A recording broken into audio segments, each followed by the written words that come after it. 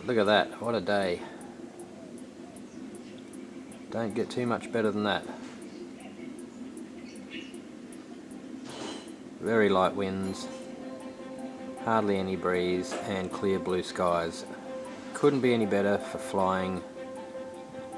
So let's get into what we're about to show you. Alright, so I bought this. I bought this about a week ago. They're on special. You can see what it is. I'm just carrying it out to the table and we'll get a look at it a bit closer.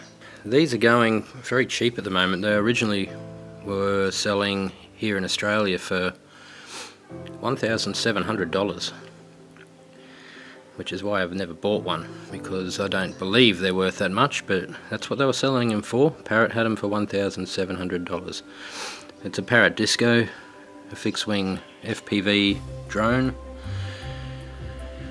comes with its own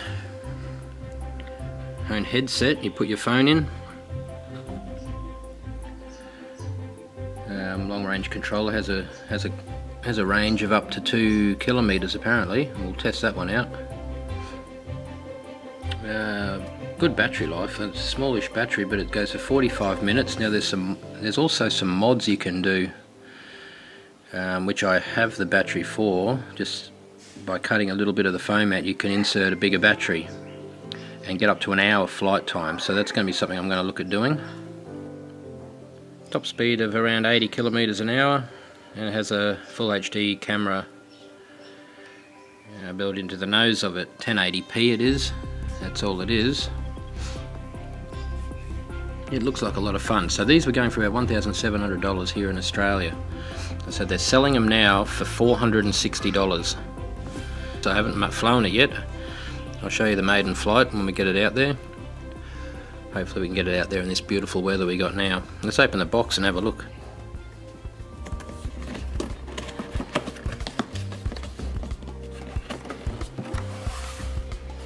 Right, so there she is inside. It's the machine. Take everything out and we'll have a good look at it. So we've got the headset here. You, you put your phone in it. Got the Parrot Disco controller with long range antenna on the top. This machine has an automatic takeoff and landing function as well, which I'm really keen to try. Now the the beast itself. Parrot Disco. Three axis image, stabilized, 1080p camera.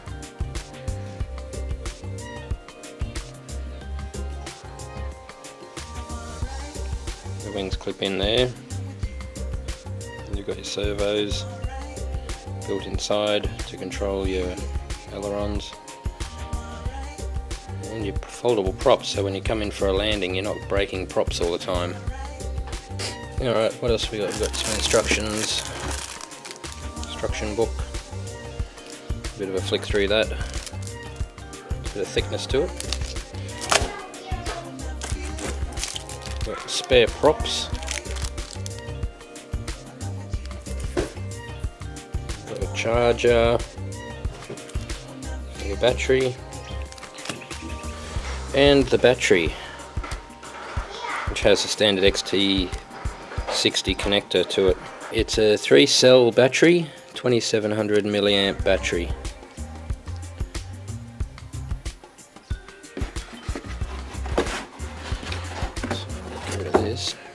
Here's your wings. They clip into the side.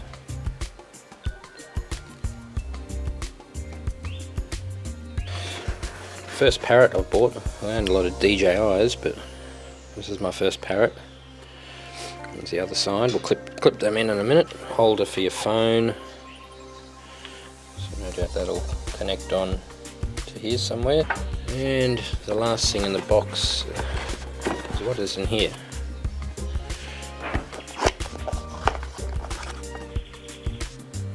You get, your, get all your battery cables, charging cables, USB cable, different types of plugs to suit what country you live in. Need needing any of those. The only one I will need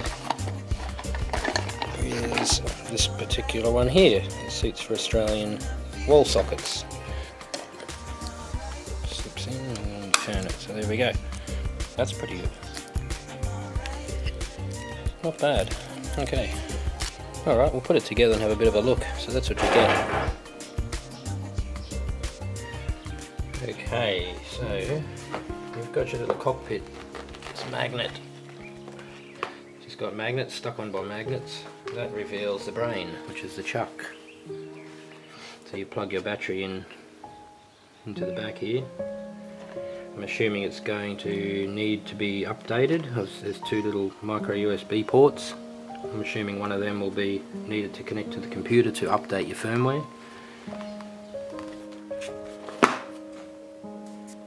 So these wings, you got two holes. There's one there and one there. And your servos sit into that. Connect to the servos inside. Push in and you get a click. And this section here connects to the wing which gives you that.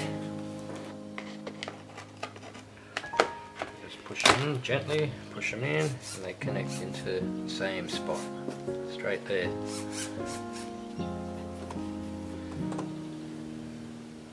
Looks like it's got about an 8 inch prop on it. Say anything on, on the motor about how many kV it is. So here's the disco all set up. It's got a wingspan, looks like it's close to a metre.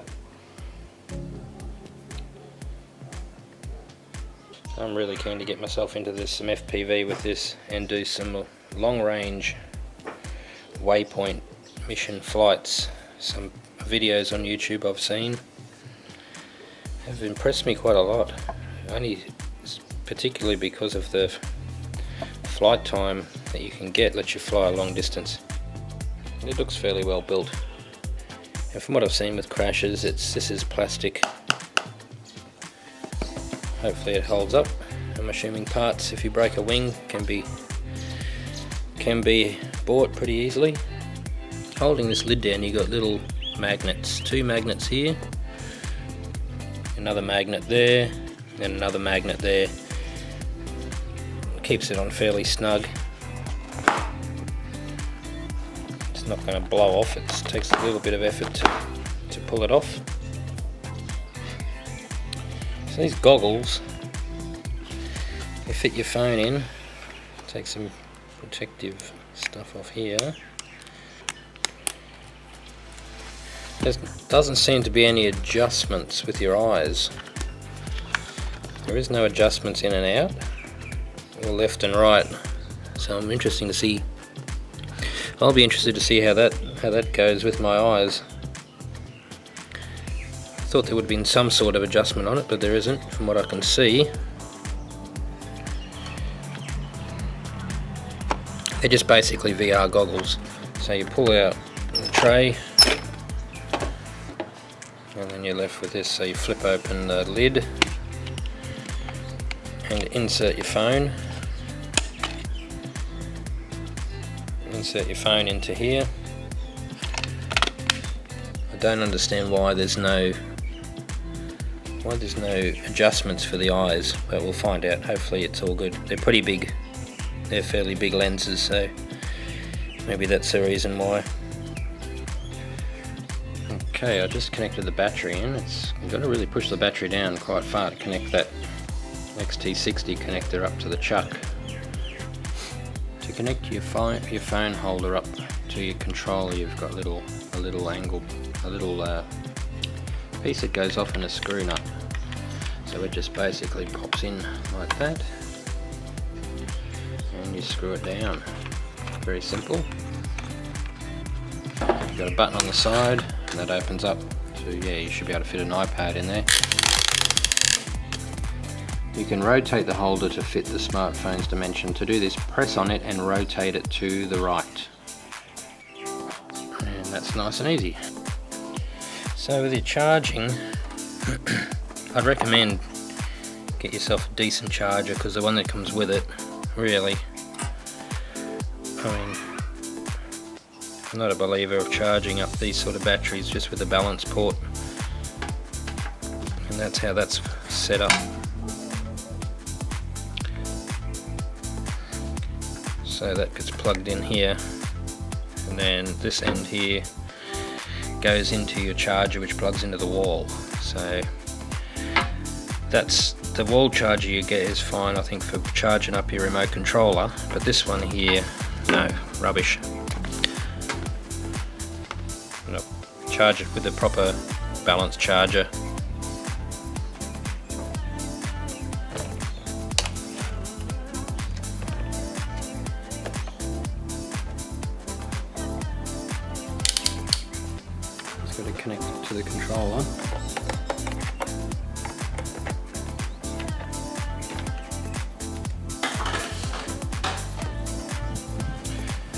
Alright, so what we'll do, it's all connected up.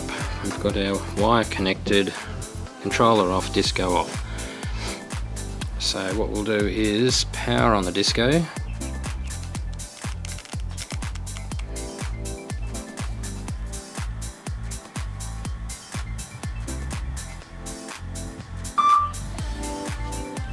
Wait for the blue light to turn green. That means we have satellites. Controller is on and it's opening up the Parrot Free FreeFlight Pro app. Connect to a drone. I don't know whether we've disco connecting to the disco. Let's hit that. It's connecting to the disco. And there we go. We got video our video feed there. I might be able to see the latency there. A little bit. Okay, the controller is now green, so it looks like we're all good. You can see in there we've got a solid green light. So we're looking out into my garden now. So let's have a look at what we got here. So if we go into update required, your device needs to be updated, it's saying now, so let's okay that. So it's saying two devices, we have one update, Disco is up to date, Sky Controller 2 running version 1.0.2, we'll install 1.007.7. So that's, that's sending it now, it's installing this. I'll let that do its thing. Few minutes. just about installed. Okay, Sky Controller up to date, Disco also up to date, both running the latest versions. Alright, so now it wants me to calibrate the drone. You'll need to calibrate the drone to fly outdoors. Please calibrate the drone. Going to calibrate the drone.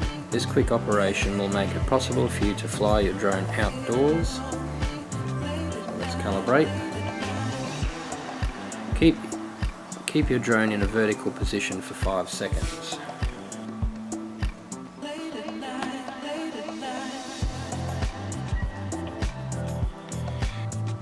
Please turn your drone on its Z axis as shown in the image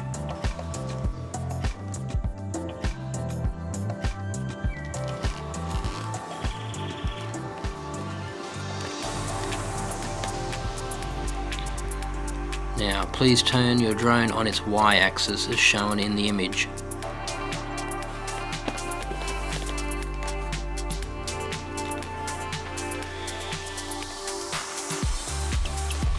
Please turn your drone on its x-axis as shown in the image.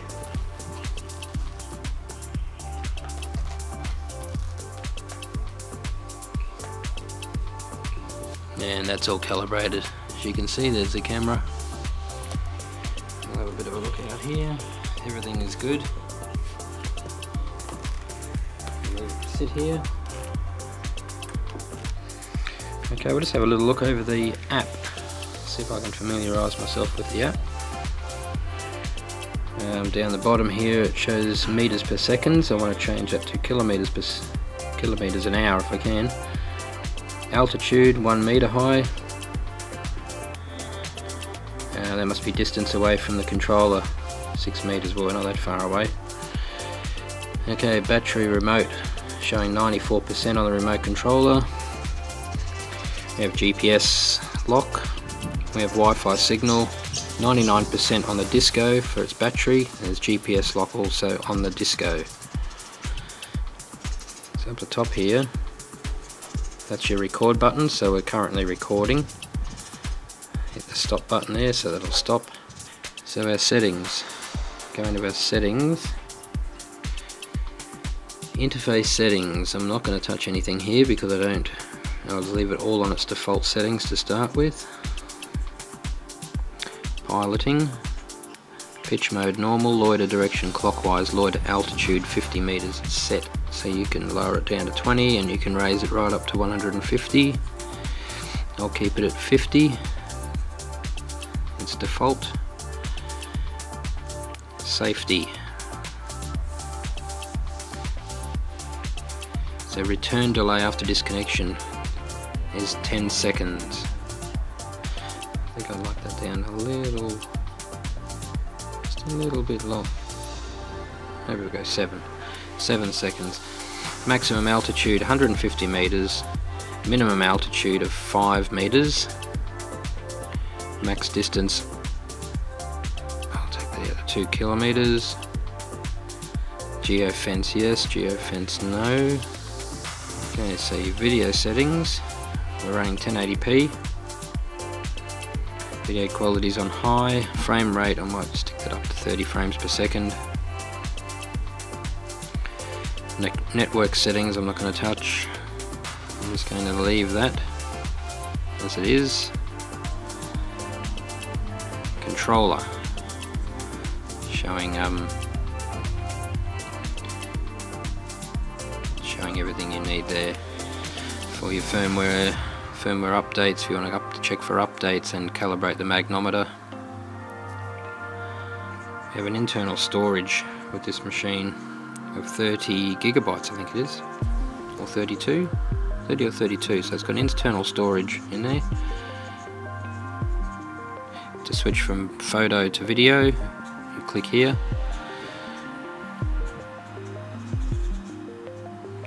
And if you want to control it through the tablet you can do it that way too which no thank you. You can switch between your map view and your camera view.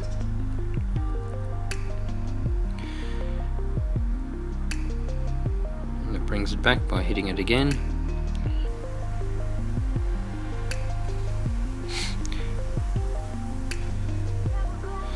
so that's autopilot you have to buy that and it's not free so that's $31, 31 Australian dollars.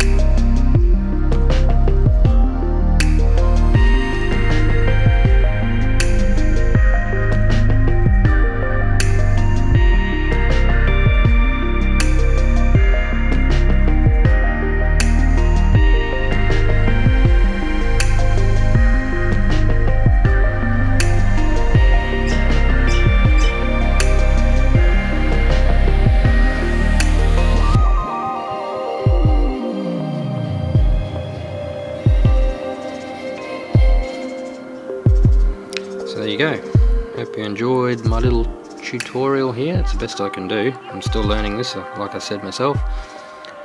And hope you look forward to my first flight, which I'm keen to do. It will be interesting. So stay tuned for that. So from now, I'll see you next video. Have a good one. Catch you then. Bye.